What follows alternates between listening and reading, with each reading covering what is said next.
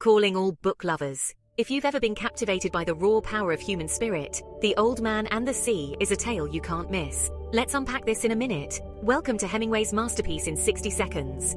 Imagine an old fisherman battling the giant marlin in the Gulf waters off Cuba.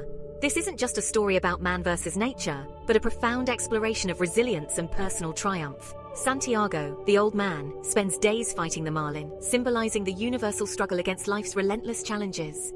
His journey is lonely, thrilling, and at times, heartbreaking.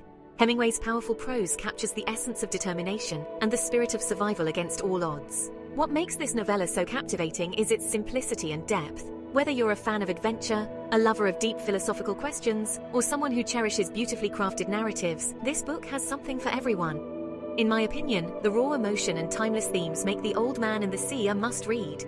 It's not just a book, but a journey that challenges and inspires. So, do you think you're ready to tackle this epic tale?